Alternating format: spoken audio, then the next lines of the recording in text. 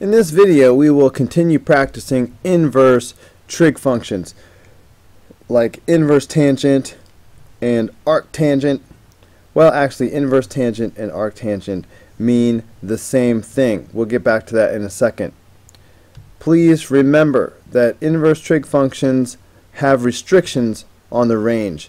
Inverse sine or arcsine is only defined for the right side of the unit circle from negative pi over 2 to positive pi over 2. Inverse cosine is only defined for the top half of the circle from 0 to pi. And inverse tangent or arctangent is only defined for the right side of the circle from negative pi over 2 to positive pi over 2. And uh, we cannot include the endpoints because tangent is undefined um, at these endpoints. Think about it right here at uh, pi over 2, tangent would be y over x. That's 1 over 0. You can't divide by 0. That's undefined. That's why these are open circles. Now, an inverse trig function, also known as arc trig functions, is just an angle. This is the angle whose tangent is negative radical 3 over 3. All through this video, I am going to assume that you have memorized the special values that are on this chart. Okay, make sure that that is true. Make sure you know every single one of these values by heart. So, when I look at this and I ask myself, wait a minute, the tangent of what angle is negative radical 3 over 3? I'm thinking of my chart. Ignore the negative sign for a minute. Um, the tangent of pi over 6 is radical 3 over 3, which is the same as 1 over radical 3. All right, pi, pi over 6. Now, that doesn't mean that pi over 6 is the answer because this is negative, so that can change things a little bit. However, that tells me the reference angle. All right, that means that the reference angle is definitely pi over 6. Alright, here's a unit circle with the pi over 6's marked. Um, reference angle of pi over 6. Here are the four angles that have a reference angle of pi over 6. Tangent is positive in the first and in the third quadrant. Tangent is negative in the second and in the fourth quadrant. Now, um, but uh, on the other hand, restrictions inverse tangent is only defined uh, on the right hand side of the unit circle. So that means I can forget about these ones on the left. Alright, they're, they're not in the restricted uh, part of the range. So these are the only two angles I really have to choose from. If I want the tangent to be negative, then I need to pick this one in the fourth quadrant. And this one is negative pi over 6. Uh, notice I cannot call it 11 pi over 6 because that takes me outside of the restricted zone. I have to go this way and call it negative pi over 6. Now don't think that you can just take the reference angle and make it negative. That worked this time, but that does not always work. Alright, I'm going to go faster and faster as I go along. Now I'm looking at arc tangent. Arctangent is just an angle. It's the angle whose tangent is negative radical 3. Well, forget the negative for a second. What angle has a tangent of just radical 3? Now, looking back at the values we have memorized, um, the tangent of pi over 3 is radical 3. That tells me the reference angle. Okay? The reference angle then must be pi over 3. Okay?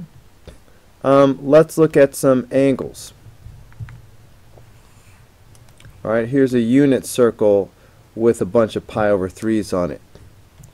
Uh, looking at this unit circle that um, is divided up into pi over 3's, these are the four angles that have a reference angle of pi over 3.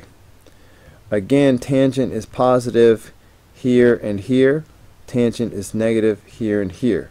But once again, tangent is only defined on the right hand side of the circle. So that means I can forget about these two over here. I'm choosing between these. Um, because I want the negative version, that means this one down here. Like boom. That is going to be called negative pi over 3. I already knew the reference angle is pi over 3, but this is negative pi over 3 in this direction. Okay, it worked out again that I just took the reference angle and I made it negative. But again, that does not always work. Sometimes it does, sometimes it doesn't. It pays to just look at the unit circle and see what's happening. Okay, let's look at number 3 Arc sine of 1 half is just an angle. It's the angle whose sine is 1 half. Alright, we have memorized that that is pi over 6. It's plain and simple. Alright, we memorized that the sine of pi over 6 is 1 half. So that's the answer. That, that one's plain and simple. Look at number 4. Inverse cosine is just an angle. It's the angle whose cosine is 0. Alright, that is going to be a quadrantal angle. What angles have a cosine of 0? Remembering that cosine is the x value on the unit circle. Where are the x values 0? Here and here. These are the two places that have an x value of 0 on the y-axis. However,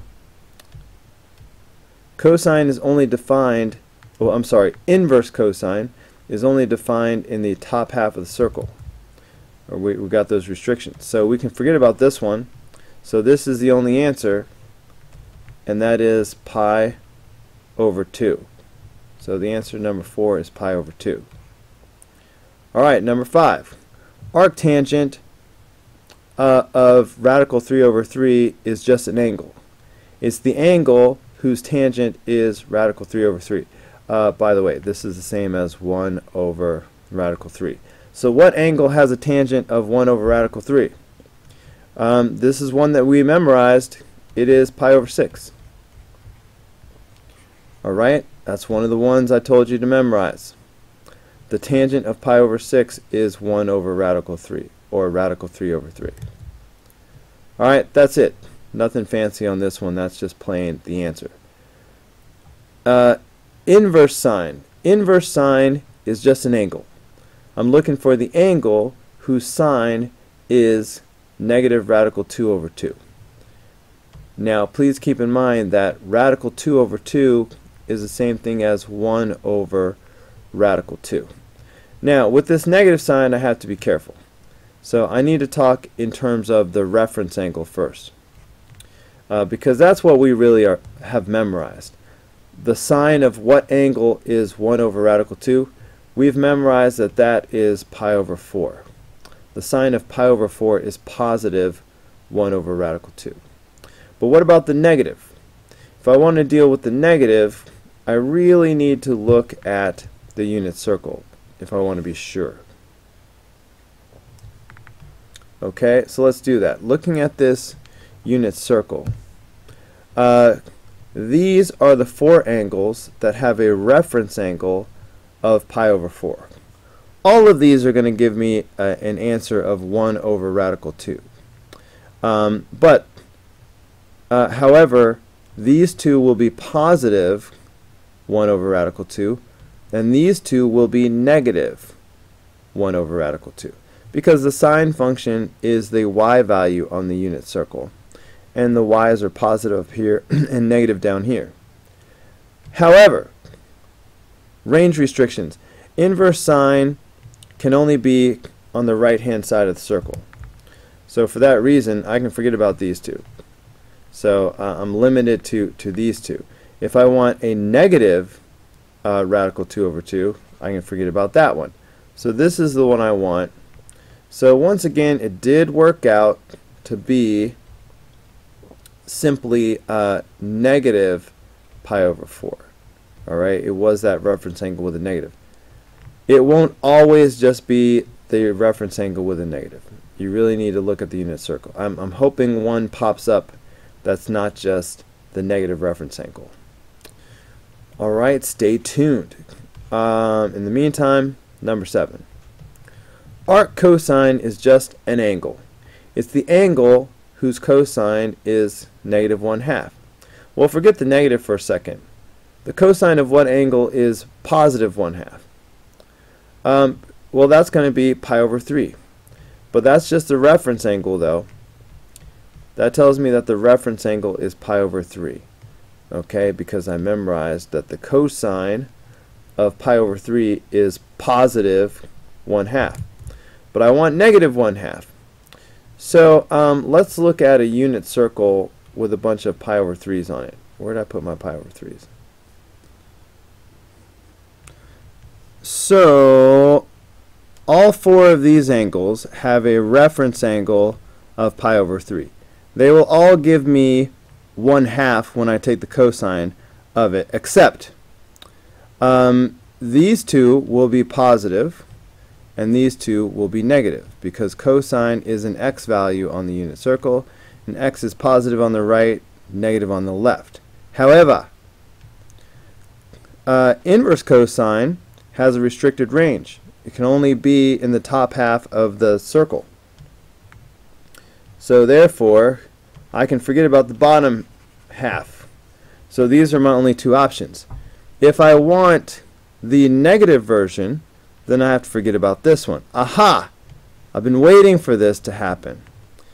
This is finally one that's not going to just be negative of the reference angle. Alright, the reference angle is pi over 3, but this angle is 2 pi over 3, not negative pi over 3. Okay, that's going to be the answer for number 7. Notice that negative pi over 3 would be down here. This is where negative pi over 3 is. That cannot be the answer uh, because cosine, uh, well, inverse cosine is undefined down here. Alright, range restrictions. So, boom, there you go. I was waiting for that to happen. Alright, number 8. Arc cosine is just an angle. It's the angle whose cosine is negative radical 3 over 2. Well, forget about the negative for a second. The cosine of what angle is radical 3 over 2? Alright, hopefully you have memorized that that is pi over 6. Okay, the cosine of pi over 6 is radical 3 over 2. Alright, you're supposed to memorize that. Now, because of the negative, this is not the answer. Alright, the cosine of pi over 6 is positive radical 3 over 2. This is just the reference angle. Okay, let's look at uh, the unit circle. Since the reference angle is pi over 6, alright, and these are all pi over 6s, these are the four angles that have a reference angle of pi over 6. All of these are going to give me some kind of radical 3 over 2. Um, however, cosine is the x coordinate on the unit circle. Um, x's are positive over here and negative over there. Okay, now arc cosine is only defined for the top half of the unit circle. So I can forget about these ones down here in the bottom. If I want a negative cosine, uh, then I want this one. I don't want this one. Alright, so what is this called? Well, this is 1, 2, 3, 4, 5. 5 pi over 6. Alright, once again note, it is not simply negative pi over 6. Alright, when it's negative, I can't just take the reference angle and make it negative it is 5 pi over 6. Negative pi over 6 is down here, and uh, the inverse cosine isn't even defined over there.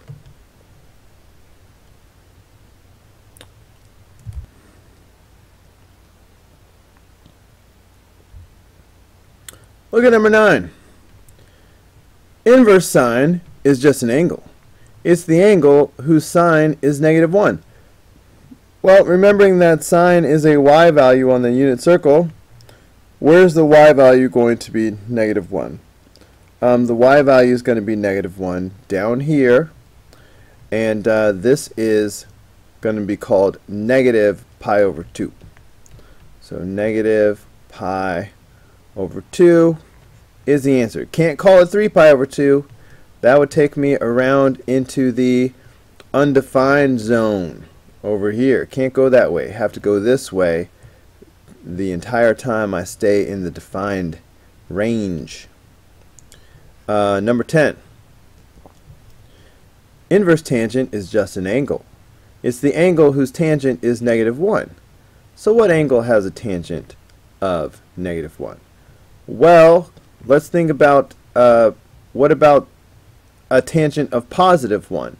What angle has a tangent of positive 1? That's one of the things we memorize. Tangent of pi over 4 is positive 1. So I think we've just discovered the reference angle. So that tells me that the reference angle is pi over 4. Okay, so I need uh, I need pi over 4. These are the four angles that have a reference angle of pi over 4. Now tangent is positive in the first and third quadrant and it is negative in the second and fourth quadrant.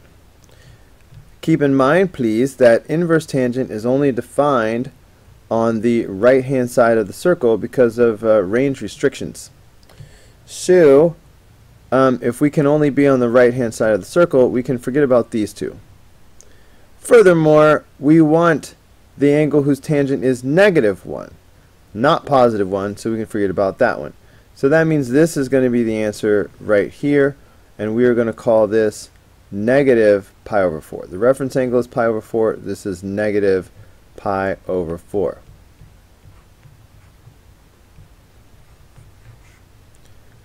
Okay, number 11.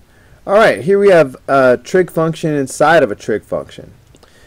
I recommend that you evaluate the inner function and then evaluate the outer function using the answer that you got from step 1. Inverse cosine is just an angle. It's the angle whose cosine is 1 half. So the cosine of what angle is 1 half? Well, I'm hoping that at this point you have memorized that that is pi over 3. Right? The cosine of pi over 3 is 1 half. So that means that we have the tangent of pi over 3. Now what's the tangent of pi over 3? Um, that should just be radical 3 right? Tangent of pi over 3 is radical 3. That's one of the values that we're supposed to memorize. Okay, so um, so that's it. The final answer is radical 3. Number 12. Uh, let's evaluate the inner function. What is the sine of 5 pi over 2? That's a quadrantal angle. So this is 1, 2, 3, 4, 5. This is 5 pi over 2. This is uh, this point has the coordinates 0, comma 1 and the sine is simply the y value.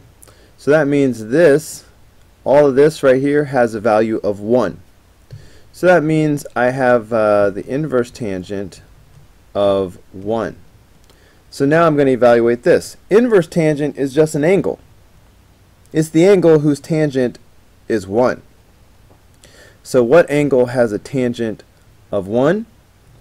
Uh, well, hopefully you memorize that. That's pi over 4. Okay, remember guys, remember tangent of pi over 4 is 1. Boom! Memorized it. So that's number 12. Man, how many more of these problems are there? Maybe I should make another video. okay, uh, yep. I'm going to have to stop this video here. That's the end of page one. That's going to be a good place to stop. I'm going to make another video for page two. So, I will see you on the next video for number 13 through 20. Oh, God.